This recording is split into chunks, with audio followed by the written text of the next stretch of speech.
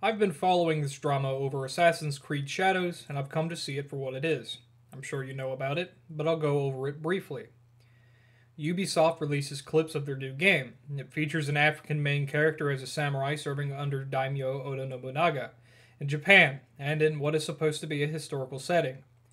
The African is named Yasuke, and in historical reality, Yasuke was never a samurai. He was at best a gesture like entertainment piece for Oda Nobunaga, and he may not have existed at all. There is no evidence at all, none, that suggests Yasuke was ever a samurai. This historical revisionism, of course, and rightfully made, Japanese players angry, along with several Japanese historians. Ubisoft Shill started a campaign of harassment and wiki page editing to try and hide the truth that Yasuke was not a samurai. Thankfully, this failed, and the people speaking out against this revisionism made their point emphatic.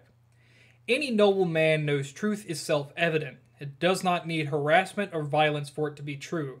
Truth, in the eyes of cultural Marxists, is whatever their leaders deems is true, and anyone who disagrees is doing so only out of hate and willful ignorance. This, of course, shouldn't have to be said, but it bears repeating. These cultural Marxists are fervent and adamant on pushing their narrative. They refuse to see evidence, they blatantly refuse truth. These people cannot be reasoned with rationally, as they are inherently irrational. Attempting a discussion with them can leave one feeling disconnected from reality, as if they are living in a different world.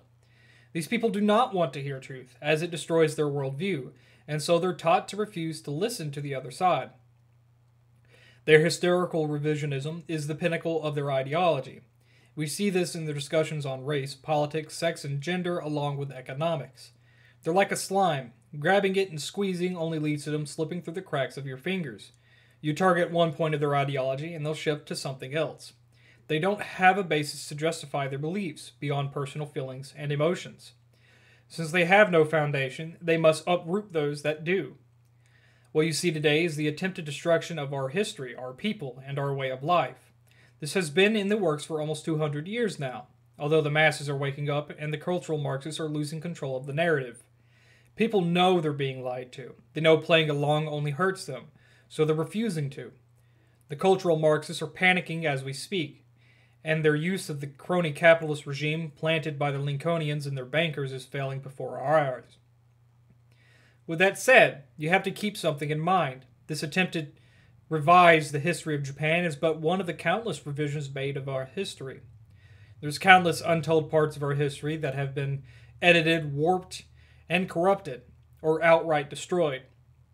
The UK comes to mind, with Cambridge University, along with British media, outright denying the existence of the Anglo Saxon people, a claim that should enrage Yankees, Dixielanders, Canadians, Australians, and New Zealanders. As stated before, truth is self evident. To see which side is in the right, look at which side is violent, aggressive, and refuses to hear differing opinion, to truly see who is wrong. Truth can withstand criticism, in fact, it welcomes it. Truth can dismantle falsehoods by simply being what it is. Truth doesn't need those that believe in it to dismantle statues, harass people, attack those that look different from them, and to burn and loot. Truth is self evident. Even with things that are simple and unimportant like video games, the cultural Marxists are losing. After Sweet Baby Inc. had been found out, Countless players had become outraged and finally had a face to the cultural Marxists ruining their games and pushing agendas. Of course, Sweet Baby Inc. isn't the only consultancy company responsible, they're just the most recognizable.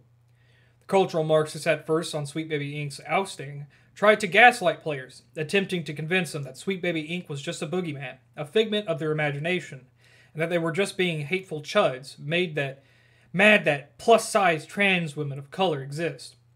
Of course, more came out, proving that Sweet Baby Inc. had many games of which they were responsible for the stories of which were full of agendas with very few exceptions. God of War Ragnarok being an alright to mediocre game at best, with Marvel movie tier writing and the purposeful, disrespectful use of religious figures. Thor was designed to be an obese, disheveled, and abusive father. Angrboda was made to be a black girl, which of course makes no sense in a game set in Scandinavia. Of course, cultural Marxists will attempt to shill by claiming God of War was always disrespectful to religious figures, and that we're just hateful bigots. completely ignoring the fact the old games at the very least depicted the Greek gods accurate in design. Thor had virtually no descriptions that fits his depiction though. Yes, there are a few that describe him with red hair and a beard, but there's more that describe him with a clean face and golden hair.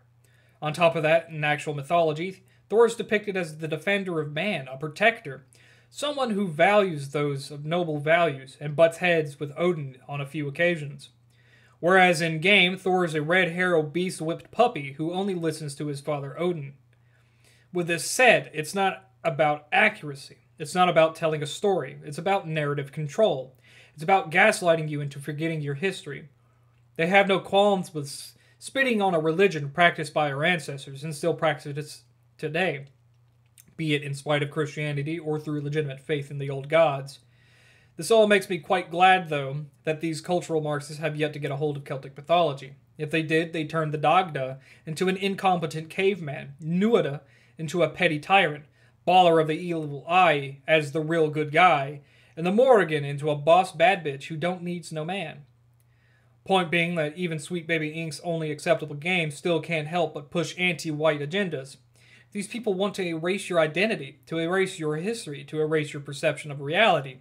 If these people are so willing to go this far with something unimportant like video games, what else are they willing to change? We are healing, though. The people are waking up, and given time, we will be rid of this. German youth singing Ausländer raus, British natives refusing their homes to those that hate them, Japanese refusing their history to be rewritten. No! You think the South was objectively right during the Civil War? Yes.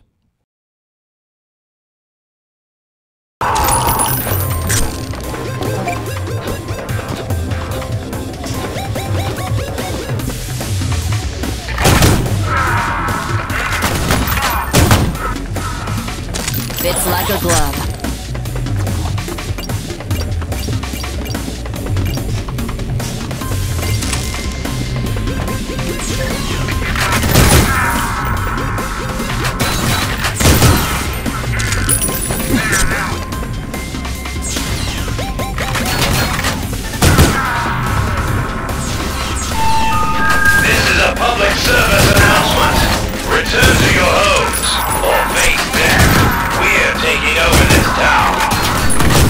Think again, asshole.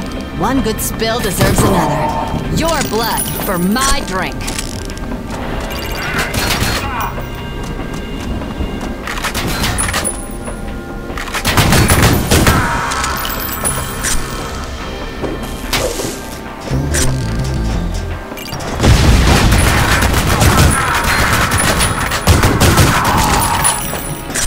You're terminated, fucker.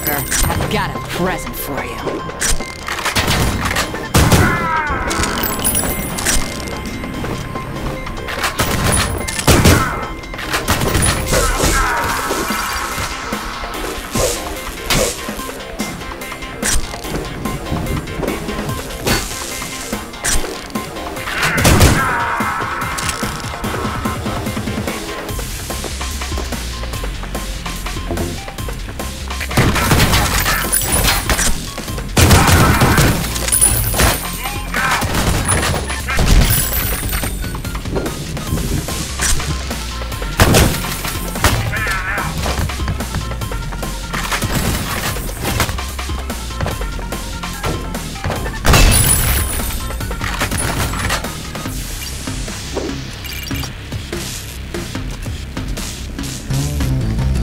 Get fucked.